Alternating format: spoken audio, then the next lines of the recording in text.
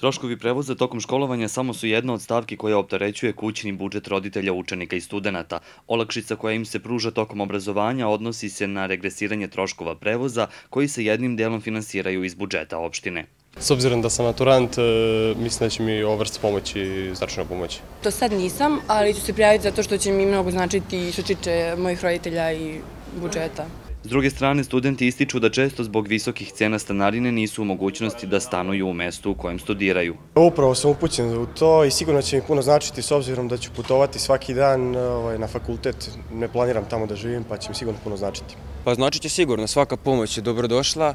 E, što kažem, da je 50% da se smanji cena karte, opet, je, opet znači za prijavu ispita. Na fakultetu se plaća sve, prijava ispita, promjena ispitivača, knjige. Iz lokalne samoprave ističu da su i ove školske godine mislili na srednjoškolce i studente. Mi smo za ovu školsku godinu odobrili preko 42 miliona dinara za te namene, za regresivne prevoz troško učenika i studenta. Kao što ste primetili, za učenike koji idu na teritoriju naše opštine smo dali veću stimulaciju, 80% regresiramo troškove prevoza i to se pokazalo kao pun pogodak jer smo ove godine već u prvom krugu, junu mjesecu, upisali sve tri škole su sve popunjene sa maksimalnim brojem učenika.